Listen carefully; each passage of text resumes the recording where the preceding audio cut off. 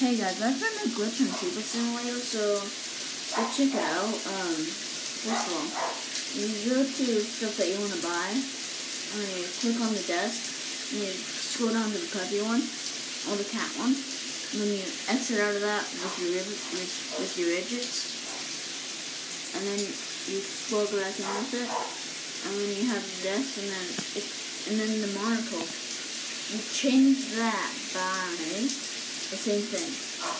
You choose a monocle, exit out, and get back in. And I done it to my but I don't know how to upload from Tuber Simulator.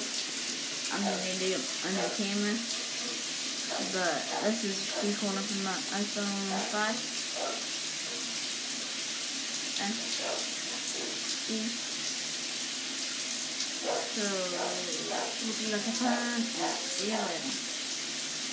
아.